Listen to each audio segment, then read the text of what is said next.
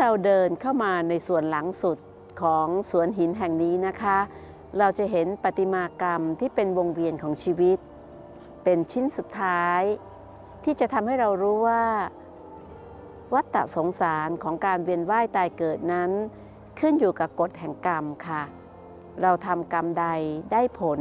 เป็นกรรมนั้นเสมอ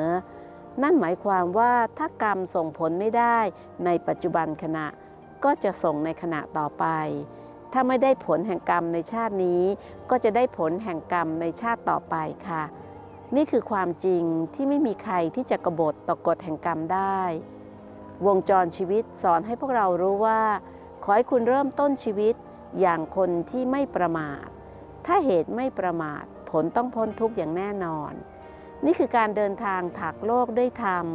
ขอให้เรารู้ว่าการเดินทางเป็นศิลปะที่จะทำให้เราใช้ชีวิต เพื่อมีพลังแห่งการบวก กับบุคคลที่อยู่รายรอบตัวเรา และการทำกรรมดี ที่จะไม่ปฏิเสธการช่วยเหลือบุคคลที่อยู่รายรอบตัวเรา เวลาที่เขาทุกข์ก็เป็นบารมีของการเดินทางนะคะ การเดินทางถักโลกด้วยธรรมจึงเป็นโอกาสของพวกเราค่ะ ที่ได้มีโอกาสที่จะศึกษาธรรม ปฏิบัติธรรม อันเป็นเครื่องออกจากทุกข์ ขอให้คุณได้มีโอกาสที่จะเริ่มต้นชีวิตของคุณด้วยความไม่ประมาทขาดสติ